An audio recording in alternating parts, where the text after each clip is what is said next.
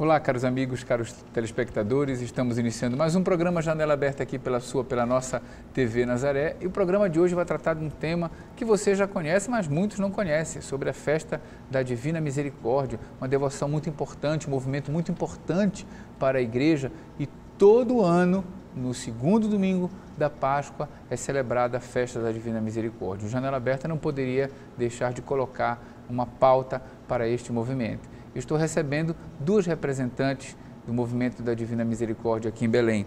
A Maria Marta, que é coordenadora, e a Marília Cavalcante, que é representante do movimento.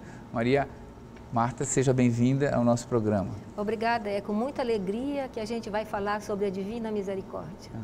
Marília, seja bem-vinda ao nosso programa. Uma boa noite a todos. É também muito da alegria que nós estamos aqui representando o movimento apostólico da Divina Misericórdia.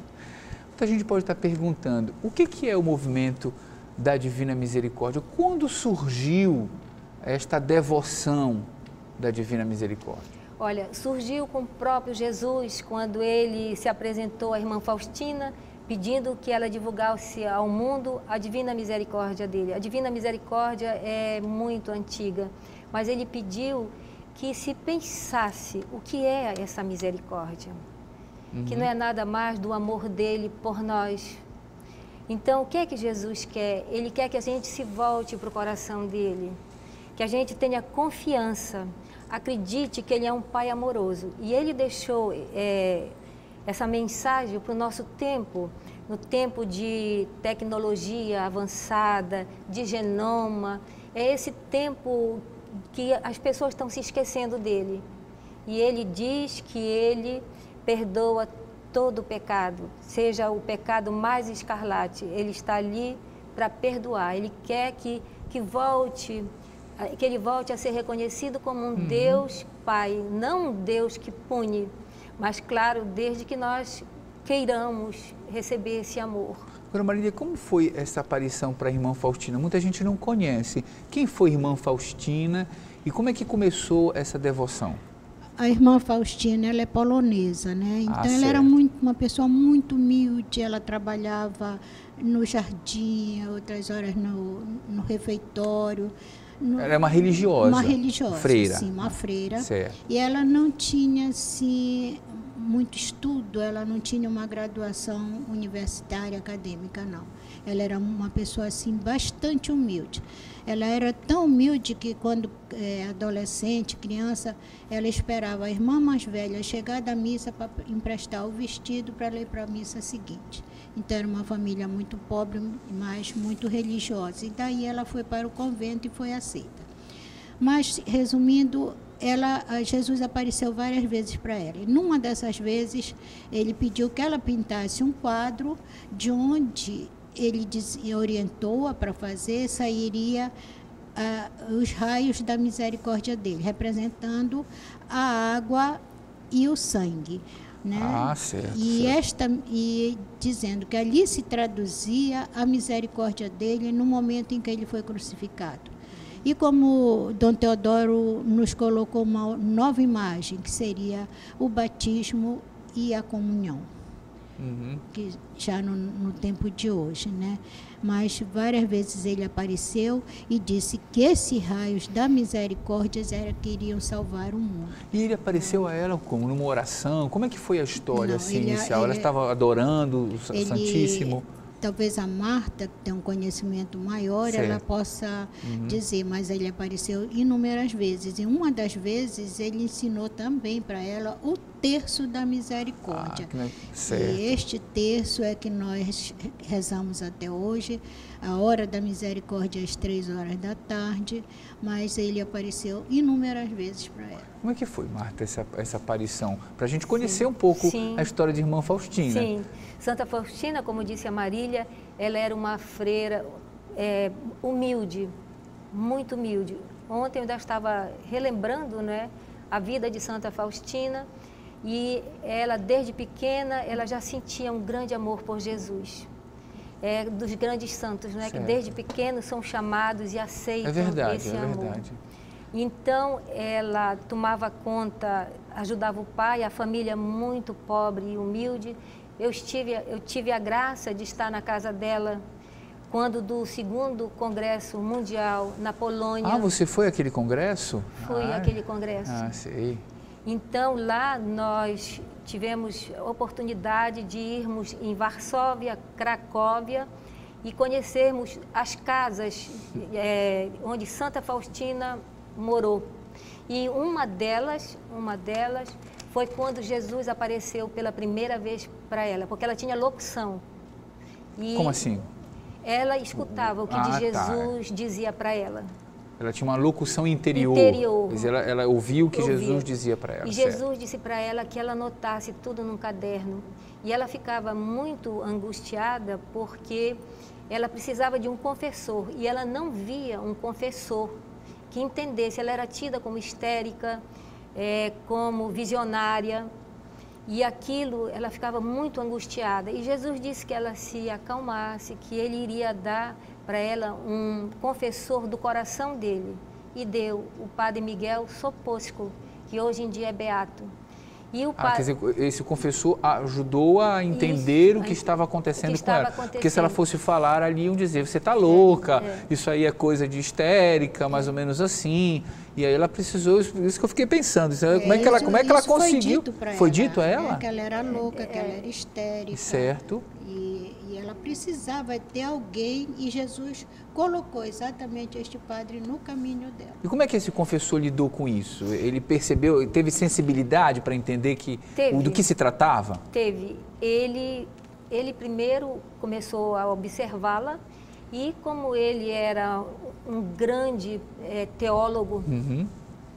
e o que ele fez? Ele começou a estudar e chamou outros teólogos para estudar e acreditou plenamente, plenamente a ponto de mandar fazer os santinhos, porque foi durante a Segunda Guerra Mundial. Uhum. Aí, entre a Primeira e a Segunda entre Guerra. a Primeira e a Segunda Guerra. É, então, o que aconteceu? Ele mandou que divulgasse o santinho com o Jesus misericordioso, né? E aí tem muitas graças no meio disso, não é? Mas vamos voltar a falar da imagem, da imagem. E ele disse para para Jesus disse para ela, se apresentou para a irmã Faustina, isso eu acho assim muito fantástico, um Deus se apresentando e dizendo assim, pinta o que tu estás vendo. E, e ele apareceu. E ela pintou. Vamos aqui mostrar a imagem a qual ela está se referindo. Esta imagem famosa, muita gente conhece, a Maria inclusive está aqui com uma camisa soleníssima, bonita. Esta imagem, uh, pode comentar esta imagem. A gente está vendo aqui Jesus com a, a mão de bênção, uma mão tocando no, no, peito. Né, no peito, e aí saem raios vermelhos de outras cores, e a irmã Faustina. Foi esta a imagem que ela viu, que foi apareceu a ela, ou, ou foi descrita apenas para desenhar o que. Não, o que ele se apresentou para ela e o padre Soposco, ele chamou um pintor e ela ia com a superiora, assim, várias vezes para ver como estava saindo a imagem. A imagem não é essa. Uhum. Tem várias imagens. A primeira imagem é uma imagem que ele está de olhos para baixo e ela é cultuada na Lituânia. Então, essa imagem eu já trouxe é de Plosk, onde ele apareceu para ela.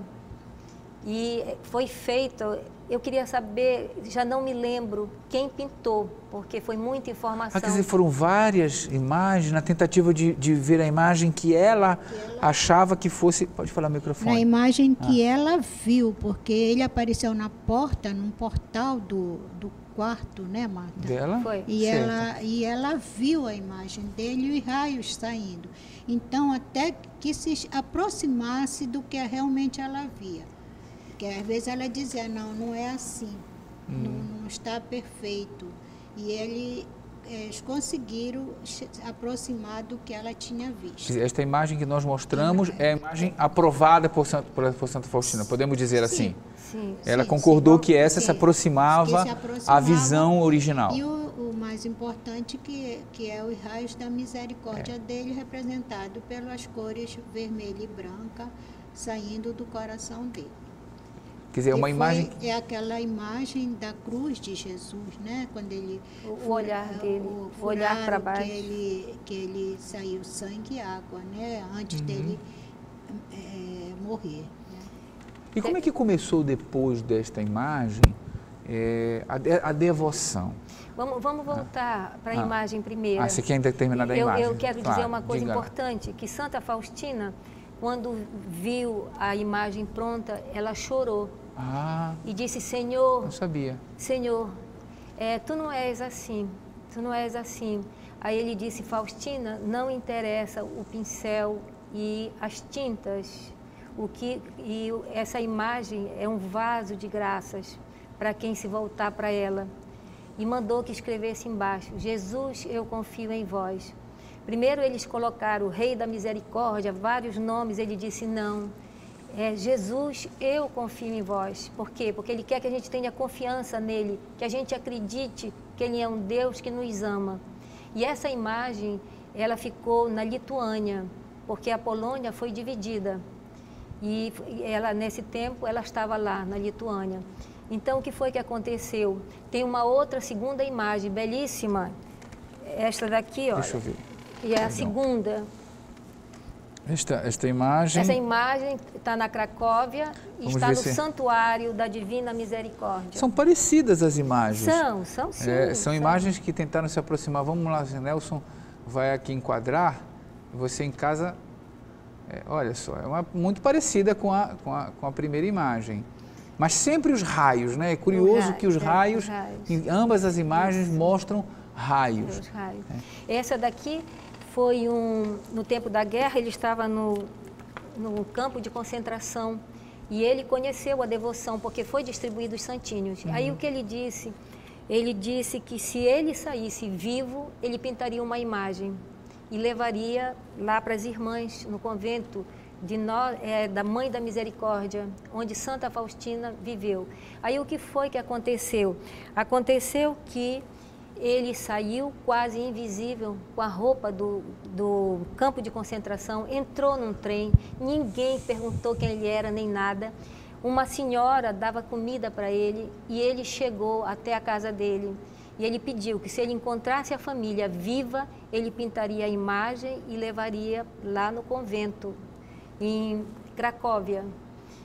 Então o que aconteceu? O milagre aconteceu e ele pintou essa belíssima imagem que está está em cima do do lá onde tem os ossos de Santa Faustina Certo, na, na capela de na Santa capela Faustina, né? que ela é, é, é venerada lá, porque ela morreu nesse Certo. convento.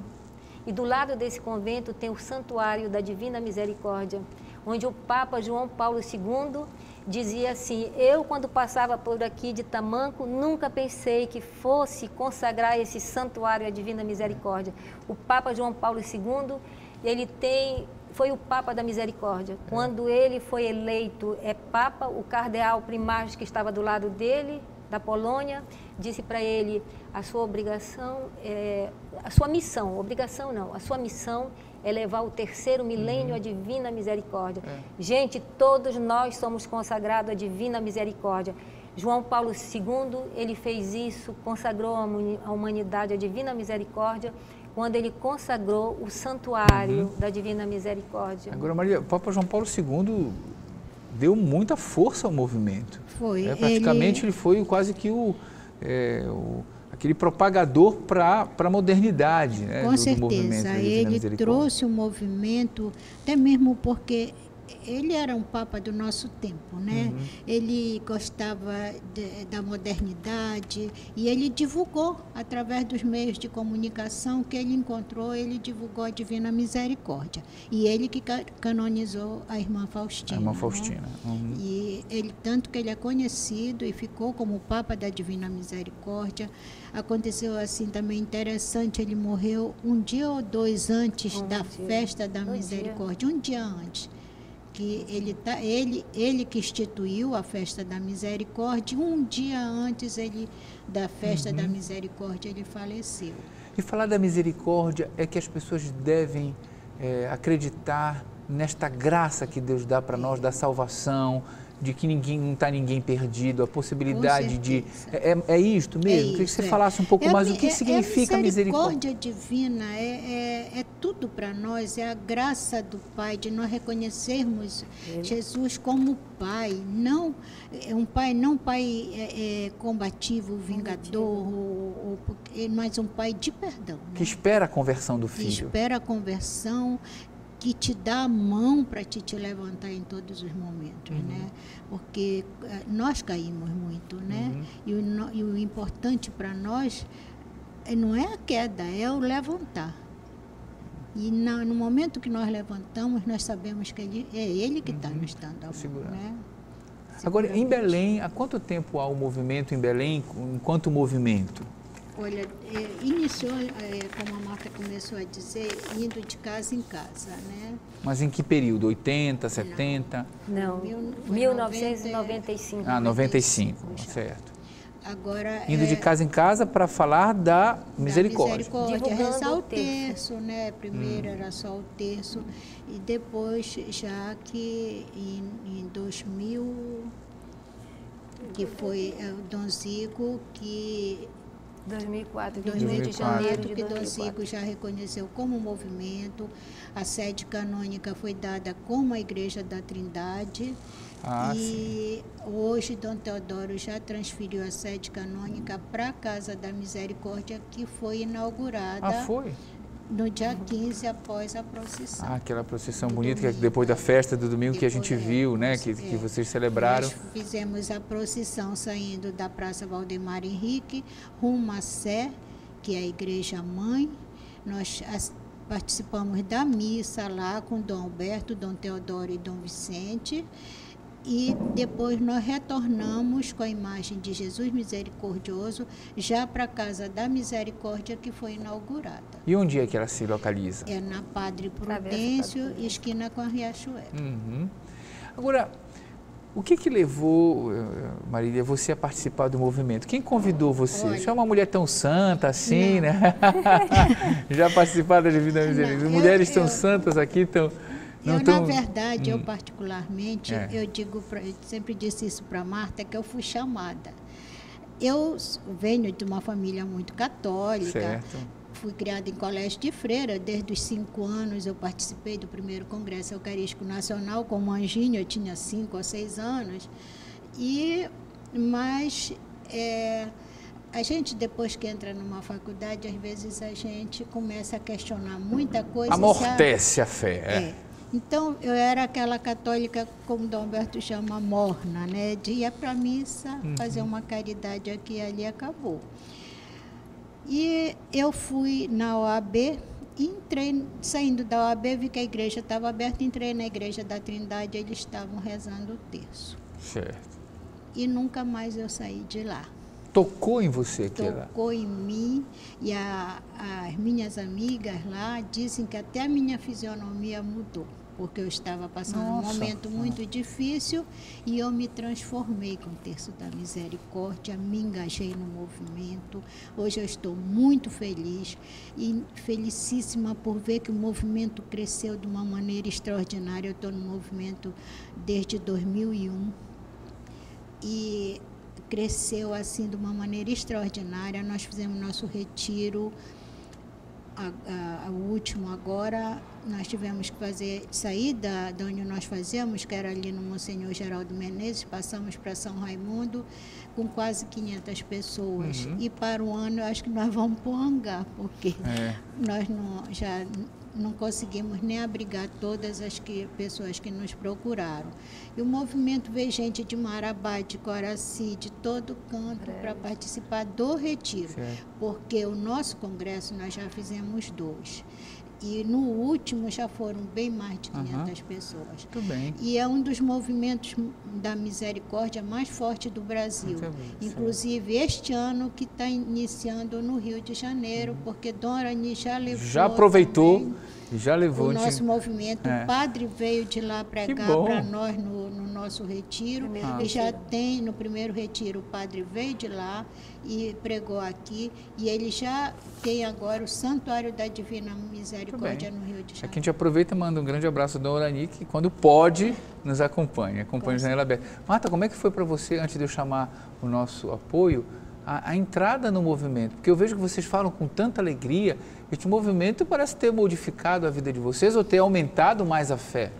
Olha, aumentado mais a fé, porque a responsabilidade é grande quando essas pessoas se achegam a nós. Então a gente tem que estar serena com, que, com Jesus dentro do coração da gente, para que eles possam sentir o amor de Deus transbordando de quem de quem participa uhum. também dessa misericórdia. E você começou em 95 também? Eu comecei antes. Eu já rezava o terço. É, é um fenômeno, é, é uma coisa, uma graça, eu diria, do Espírito Santo, porque muitas pessoas já rezavam esse terço separadamente. Aqui em Belém do Pará, é, a minha tia, tia avó, com 103 anos. 103 anos. Ela sentava ah. e rezava o terço da misericórdia. Todo mundo sabia que era três horas da tarde, porque tem uma coisa ah. fantástica. Diga. Quando você se se volta para rezar, primeiro começa com uma devoção. Oh, claro, claro. É. Aí você se volta para rezar o terço da misericórdia, você é chamado, onde você esteja, ou na rua. Às vezes eu estou tirando uma soneca, aí acordo, três horas da tarde, aí vou rezar com a minha família o terço da Divina Misericórdia. Então, é, esse terço foi o próprio Jesus que ensinou para Santa Faustina, quando Santa Faustina viu que ia acontecendo uma catástrofe que ela diz que não, que não era possível dizer o lugar. Ela viu o anjo exterminador é, para vir destruir um local. Então ela suplicou que isso não acontecesse.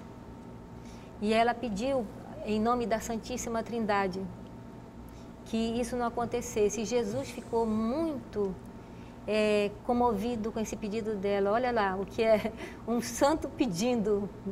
Então, não aconteceu isso. E ele disse para ela que ela rezasse o terço da misericórdia e divulgasse esse terço.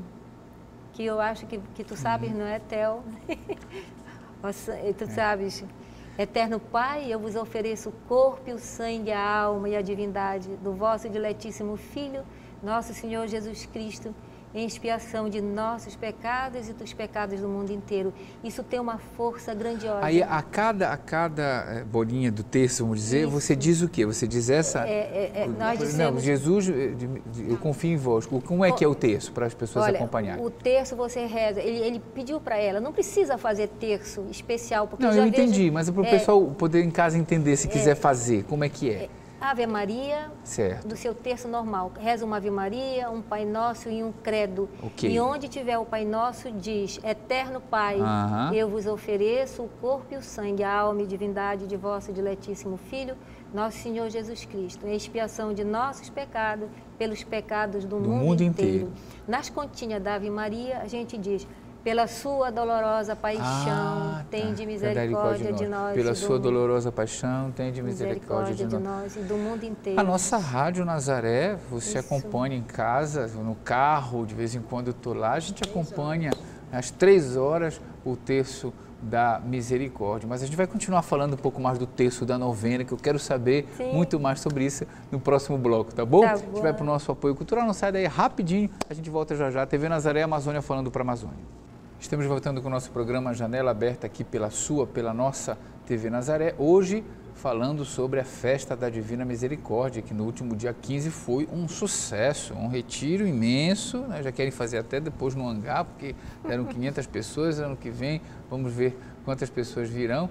E nós estamos aqui recebendo a, a Marta e a Marília, que são integrantes do movimento, né? desse movimento tão importante. E como cresceu o movimento. A cada ano que eu entrevisto é sempre mais uma novidade. Agora teve a, a casa lá na Travessa Padre, Padre Prudêncio. Prudêncio e o, o, retiro que foi, foi muito grande. Você falou do terço da Divina Misericórdia, que no lugar do Pai Nosso, o que é que diz mesmo? No, Eterno Pai, Ai? eu vos ofereço o corpo e o sangue, a alma e a divindade do vosso diletíssimo Filho, nosso Senhor Jesus Cristo, em expiação dos nossos pecados, dos pecados do mundo inteiro.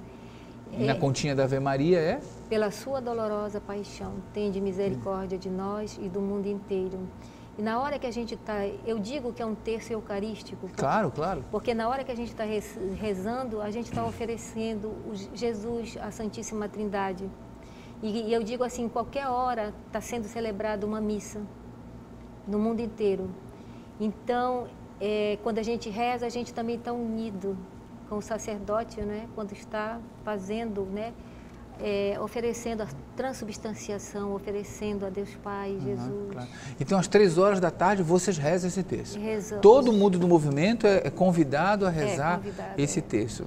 E acontece também, que eu acho assim muito interessante, já aconteceu comigo várias vezes, de três horas da manhã acordar para rezar o texto. Três horas da manhã? Já aconteceu de buzina de carro na garagem do prédio. Eu olho para o relógio, são três horas. Eu não consegui dormir, só consegui dormir depois de rezar o terço.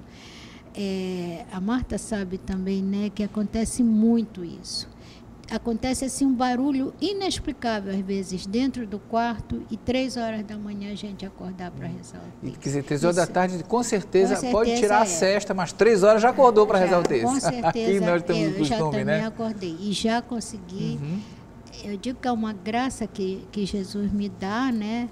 De acordar às três horas da manhã para rezar o texto. Bom, e, e como é que está sendo a receptividade do movimento? É, a crianças, a jovens, a adultos, a casais? Ah, aceita todo mundo? Hum, não tem restrição? Mundo, não tem restrição nenhuma. Aí vocês se concentram é, onde? Em que igreja? Ficou na Trindade, assim, a então, sede? Tem todas as igrejas, né? Quase todas. Quase ah, todas, tá. é. São Raimundo Nonato é terça de manhã, na Trindade é terça de manhã também, Nazaré é, sexta na sexta-feira. E tem Aí quando você fala assim, movimento. Na Sé também ah, já tem. tem. Quando você fala em movimento, o que significa? É reunir para rezar o texto da Divina Misericórdia ou para discutir as ações do movimento? Não, o movimento é que... já ah. abrange toda a arquidiocese, certo. né? Agora, em, eh, em cada igreja tem a, a, a, sua coordenadora, a sua equipe que, que reza o terço e outras orações, cada um é uhum. é divers, diversificado. Na Igreja da Trindade, nós temos até um folheto, um livrinho, que anual, é feito anualmente, é modificado. Nós rezamos, além do terço, outras orações e oferecemos. É. O que também me chama muita atenção nesse terço, não sei se a Marta concorda comigo, é que a gente não pede só por nós, nós pedimos pela humanidade os pecados da humanidade sejam perdoados, a misericórdia seja voltada para a humanidade, uhum. não só pessoal, pessoal, né? nem aquele grupo que está rezando. E vocês que já estão bem engajadas no movimento, bem estruturados no movimento, já escutaram a experiência de pessoas que começaram a rezar Tem e que a vida mudou, que saiu de uma vida de pecado? É, é, é, é comum acontecer isso, Marta? Você, a senhora já escutou? Já, já. Tem, tem ah. o meu, meu, depoimento que eu dei ainda agora e quase toda terça-feira nós não temos. É uma pecadora. assim. Não, não é Estou falando de, assim, a gente, a gente que, meu Deus, como, como isso mudou minha vida, eu não esperava que Jesus fosse tão misericordioso assim. É, é mas tem, tem vários, já teve muitos depoimentos, nós temos até alguns inscritos, né? Já, já temos. Ah, é? é já tem inscritos, depoimentos, já em, até a, a Carmen tá, ela já fez o livrinho, né? Que, tem um DVD. De depoimentos de, de pessoas. Depoimentos de pessoas. Porque vocês atendem também pessoas, assim, as pessoas querem sim. conversar sobre problemas, sim, sim, tem essa prestação de serviço? Tem, tem. Como é que é, é isso? Além do atendimento é, é, aquela comunidade carente, nós também conversamos com pessoas, né? Certo. A Marta está mais. A Marta é que você faz mais isso, né, Marta? Você atende pessoas também. É, atendemos qualquer tipo de pessoa, desde que chegue até a nós com seus problemas, a gente ouve e, e fala dessa misericórdia, desse amor. E a ponto de nós termos que, de, construirmos a Casa da Misericórdia, que foi inaugurada no dia da festa da Misericórdia, tá aí na foi, foi no dia, dia, dia 15, né? Dia 15, é. Então, é, quem, nós somos adoradores também eucarísticos da Divina Misericórdia. E tu sabes, né, Tel, que quando a gente faz adoração, Jesus manda as, aquelas pessoas para virem até a nós, né? É verdade, é verdade. E o que veio? A, a, nós começamos com umas seis pessoas. Hoje em dia a igreja fica cheia, não é? Lotada. E vem aquele, aquelas pessoas carentes. E a tal ponto de nós termos que fazer alguma coisa por elas. E nos reunimos e temos um carnezinho que é pago, pelo, chamamos apóstolo, porque o apóstolo ele tem o dever de rezar o terço e praticar uma obra de caridade espiritual ou corporal é, durante o dia. Então, deram dinheiro através do carnê. Aí, durante cinco anos, eu coloquei no banco. Coloquei no banco e disse: Meu Deus, temos que achar uma casa para poder é, já construir e abrigar esses moradores de rua. Primeiro pensamos em mendigo, mas mendigo a gente já não encontra em Belém, encontra os drogaditos Sim. e vários tipos que eu não gostaria de falar certo. aqui agora. Uhum. Então, o, que é que acontece? Acontece que de, é, o Padre Ronaldo chegou comigo e disse assim: Olha, encontrei uma casa na Padre Prudêncio tu queres ir ver? Aí eu fui ver, depois de ter visto, com uma equipe. Aí achamos que seria o ideal ali. E qual a surpresa? Tu sabes qual é o primeiro nome da rua, Padre Prudêncio? Hum. Rua da Misericórdia, foi o primeiro nome. Ah, é? É. Não sabia disso. Nome. É. Primeiro nome foi Rua da Misericórdia, Sim. depois Rua de Lande e Rua Padre Prudêncio. Padre Prudêncio. Então é uma coincidência muito grande, não é? é. E a casa foi inaugurada na 17ª sétima Festa da Divina Misericórdia e ela está lá aberta para os nossos irmãos carentes de rua. Aí oferece o quê? Uma alimentação, Sim. um abrigo para dormir? Como é que, como é que vocês pensaram na, na estruturação da casa? Para dar um apoio para os moradores de rua. de rua. Então ele chega lá, nós temos a parte da higiene, tem uma coordenadora na parte de higiene, onde eles deixam lá, fica fechadinho a sua escova de dente, porque na rua eles perdem se levarem. Uhum. Aí tem a sua escova de dente, ele tem o banheiro é, feminino e masculino, eles tomam banho. Tem é, os primeiros socorros, que tem enfermeiros, porque eles chegam feridos, se faz toda uma higiene, muito piolho, que se tira, se cura, se, se encaminha uhum. para o hospital, coisa que não, a gente não pode resolver, não é? Claro. E tem também é, o refeitório, onde eles tomam um café com leite, com pão, e tem o almoço, tem o almoço. E também é, tem é, o oratório, ah, que bom, que é, boa ideia, né? Também para é, rezar, né? É, é, em grupo, porque aí a pessoa é, vai para uma outra sintonia, a oração isso, ajuda bastante. Isso. Nós primeiro pensávamos que ele fosse primeiro para o oratório, mas é como Jesus disse, né? Que primeiro tem que ser a ação, a ação, depois tem que, tem que ser, a gente tem que conversar e depois a gente tem que orar. Uhum. Com e, certeza. É, e é o que a gente faz. A gente acolhe, dando isso que eu falei para você agora, não é? Essa oportunidade dele se alimentar, dele se banhar, dele ser curado e depois a gente vai para o oratório e, e, faz uma oração, mas uma oração que chegue ao coração deles. Uhum. Senhor, perdoa essa minha vida de rua, desregrada, de droga. Aí muitos choram, e começam a pedir perdão pelo pai, pela mãe. E eu lhe digo que eles aprendem o texto da misericórdia. Nós temos o testemunho de um que faleceu, é, que nós demos assistência para ele. E, e para sobreviver, ele tirava as coisas das lojas e para se drogar. Uhum. Mas morreu bem arrependido. A gente dizendo para ele, Jesus, eu confio em vós. Ele na maca ali, a gente vendo ele na maca, agonizando, e ele dizia, Jesus, eu confio em vós. Então, é assim, muitos é, tivemos a oportunidade de, dar, de estar junto de alguns na hora da morte.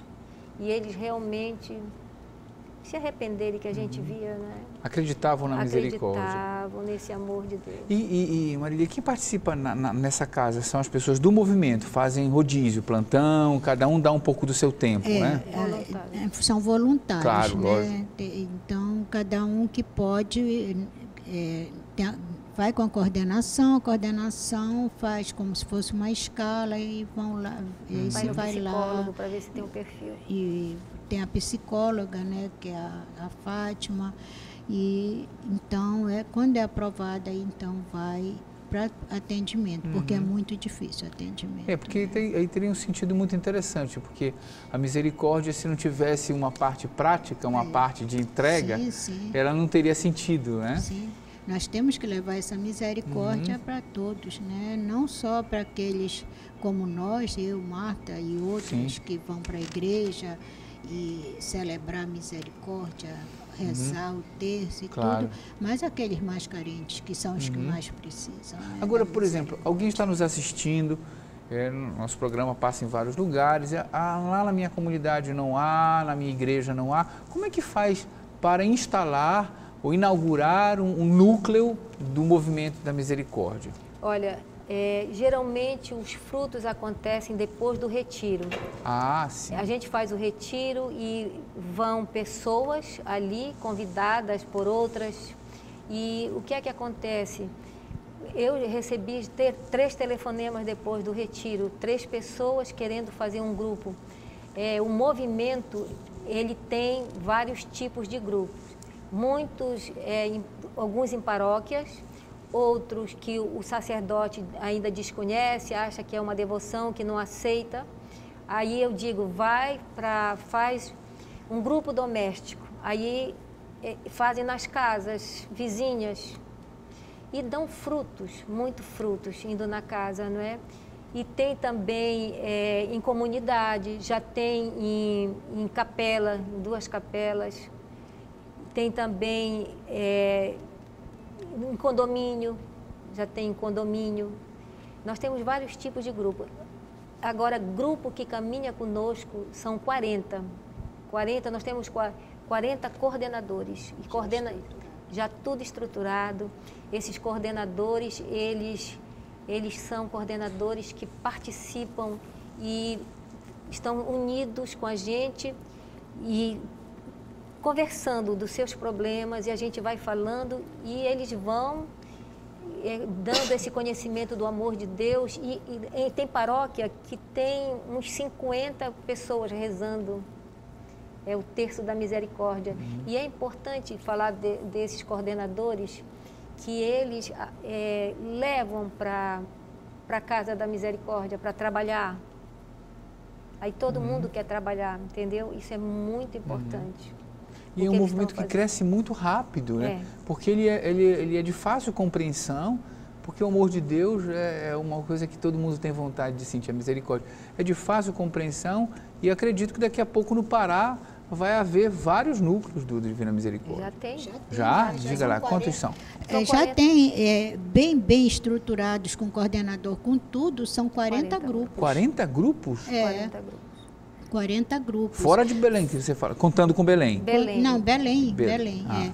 Agora tem outros de fora que vieram, né, para o congresso, vieram para Vieram o, de onde? O que, que, veio que Marabá, veio a Grande, Belém, né? Breves, Curralinho. Breves, Curralinho, até o padre de Curralinho veio fazer uma pregação para nós.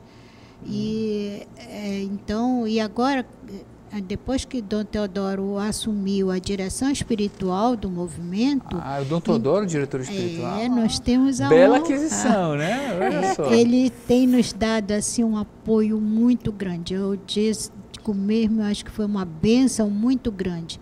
não só para o nosso movimento, eu, perten eu represento o movimento no Fórum dos Movimentos e Serviços da Arquidiocese de Belém, e nós também não tínhamos assim um acompanhamento, e Dom Teodoro também está assumindo o fórum. E ele já veio para todas as reuniões desse ano do uhum. fórum. Então, isso está nos fortalecendo, né? Tanto o fórum, como eu falei agora, que representa, tem, no fórum tem uhum. um representante de cada movimento e serviço da arquidiocese, são 16 representados, e como o movimento da Divina Misericórdia, a vinda de Dom Teodoro nos fortaleceu espiritualmente e nos fortaleceu como movimento para que nós possamos expandir esse movimento e levar aquilo que mais nos é caro, que é a misericórdia de Deus uhum. para os nossos assistidos. Agora, né? Marta, para este ano, quais são os projetos do movimento? Vai, vai haver um outro algum encontro? Existe algum encontro nacional? É, o que, que vocês pretendem fazer para difundir mais o movimento neste ano? Olha, é, nós fazemos é, congresso só quando tem congresso mundial. Cada três anos nós fazemos um congresso. Agora, aqui em Belém. Agora, anualmente, é um retiro que nós já fizemos, que é de formação, é um retiro que para as pessoas também se aprofundarem mais. A gente sempre tem um tema. O tema deste ano, Theo, você pode ver na Ventarola. Leia aí para nós, por favor.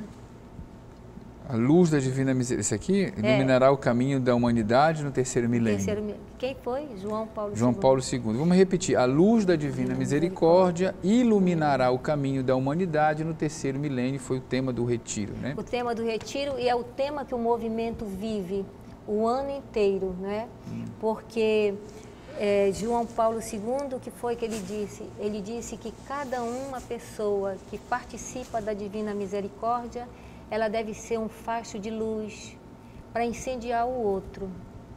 E o que aconteceu com o movimento da Divina Misericórdia, essa ação do Espírito Santo, ele uniu as pessoas que rezavam separadas, elas se uniram, elas foram para a igreja, viraram um movimento e é, o terceiro milênio ele é consagrado à divina misericórdia. Ele é consagrado à divina misericórdia. Era isso que cada um de nós deveríamos refletir, que nós somos consagrados a essa divina misericórdia, esse amor, não é, que Deus tem por nós. E nós também nós fazemos durante o ano é, retiro fazemos as mil Ave Marias uma vez no ano. Nós Quando faz... ocorre as mil Ave Marias? Sempre no, em maio. Maio. É, na, na última sexta-feira de maio. Rezam-se mil Ave Marias? Mil Ave Marias, meditadas. Mas em que igreja? Vai ser na casa ou vai ser na Igreja ano, da Trindade? Não, esse ano vai ser na Igreja do Rosário. Do Rosário. Que oh, que belo. É, que é, perto da casa, não perto é? da casa. Então todos estão convidados, quem quiser ir. Uhum. Nós estamos lá de braços abertos, esperando para rezar mil Ave Maria. Santa Faustina, é, ela rezou uma vez, uma vez as mil Ave Marias, ela rezou. Então, é, eu quero dizer para vocês que o, que o movimento, ele se reúne com os coordenadores, uhum. se reúne com os coordenadores é, para ver o que é que precisa melhorar, o que é que está faltando. Então, a gente se reúne para isso e, e, e para resolver as coisas, porque agora chegou um ponto que também elas digam, olha, tem um doente aqui, pode ajudar? Aí a gente procura ajudar aquele doente, não é? A gente enterra muito deles, porque eles morrem cedo, alguns morrem cedo, devido à vida em que vivem, não é? E a gente tem até uma funerária, que ele nos ajuda, faz um abatimento, uhum. e a gente vai e reza, eu levo sempre um ministro das Ezequias para acompanhar. Certo, as Ezequias. É, então, é, o movimento ele está aberto para quem quiser participar, né? Porque muita gente já se falou aqui é, para trabalhar na Casa da Misericórdia. A gente primeiro pede para a pessoa ir com uma psicóloga para ver se tem o perfil, porque muita gente é, vai, eu quero, se empolga, mas chega lá, já aconteceu, de ficar com medo de estar em contato com essas pessoas. Certo. Mas essas pessoas de rua, quando elas, elas adquirem confiança na gente, é, a ponto deles entrarem na casa e me, eles me davam armas, faca, caco de, caco de espelho, CD, a, a, própria droga eles me davam. Uhum. Me davam. Então eles é, é, difícil, é difícil, mas nós temos também pessoas que já saíram, que estão empregadas. Uhum. É, já superaram a situação. Sim, né? sim, sim. E quem quiser ajudar o movimento, como é que faz? Tem pessoas que já foram recuperadas, ah, recuperadas. né? Recuperadas e quem quiser ajudar o movimento? Ah, eu quero ajudar a casa, eu quero dar um dinheiro, eu quero ajudar na, no, no, café, quero ajudar nessas coisas. Como é que faz? Isso será muito bem-vindo, né? É é, nos procurar, né? Ou na casa, ou nas terças-feiras pela manhã que nós nos reunimos na Igreja da Trindade. Da Trindade. Ainda... Existe algum telefone é, que vocês podem deixar? É, eu posso deixar o meu, ó, acredito que a Marta também possa deixar o dela, porque na casa mesmo não tem telefone, não tem telefone. porque é. não tem uma pessoa permanente nela. Vai ter agora. Vai ter, Foi mas... inaugurada, uhum. então vai ter, já tem a a pessoa, a secretária, nós temos uma secretária que está lá permanentemente e o telefone é, nós vamos adquirir. Por uhum. enquanto, quem quiser, é o fixo 3222-0853. Repita. 3222-0853. 82 856166. Dá o teu marido. Meu 3225 1819. Repita. 3225 1819. 8141 6727. 8141 6727. Sempre o DDD 91, para 91, você que sim. mora em Belém, 91 é o nosso DDD. Eu queria aqui agradecer a vocês a participação neste programa de hoje. Mais uma vez a gente é, cumpriu a nossa tarefa de, de, divulgar um movimento tão importante. É, desejo a vocês muito sucesso. O nosso programa está sempre aberto às ações do movimento, porque aquilo que faz bem para o mundo, que faz bem para a igreja, é, a gente sempre está aqui para valorizar. Tá bom? Marília, 30 segundos para as suas considerações finais, por favor. É, nós agradecemos a todos, a todos que compareceram também na procissão, na nossa grande festa, que foi ah, no domingo, dia 15, a procissão, a missa na catedral que solene, que foi belíssima, a inauguração da casa.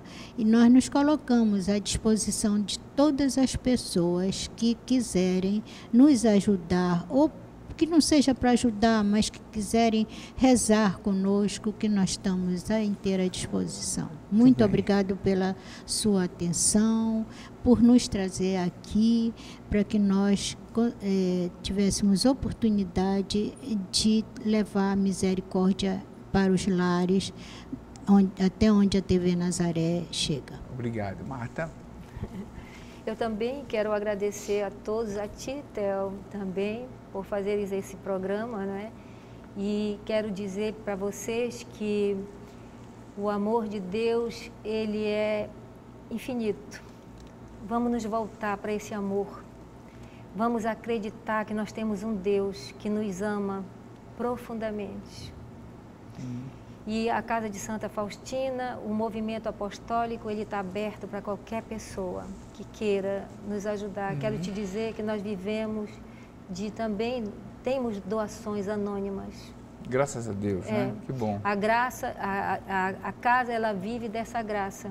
Quando o último, o último pedinte pede, às vezes a pessoa que está lá no refeitório diz, não tem mais nada. Eu digo, não te preocupa, não te preocupa que não vai aparecer mais ninguém. E realmente isso acontece. E já recuperamos muita gente com seis pratos de sopa esse menino, ele tomava seis pratos de sopa diariamente com nós, cada um tem direito a um copo de farinha, que eles gostam de farinha. E quando terminava, é, o, a última dose que tinha não batia mais na porta. Hum. Então eu quero que vocês acreditem nesse amor, que esse amor é misericórdia. Obrigada. Tá certo. Mais uma vez, muito agradecido. Imaginei, eu que agradeço a vocês de terem é, encontrado um tempo na agenda de vir aqui fazer esse programa conosco. É você que nos acompanhou no programa de hoje. Um grande abraço. Até a próxima segunda-feira em mais um novo Janela Aberta. Até lá. Tchau, tchau.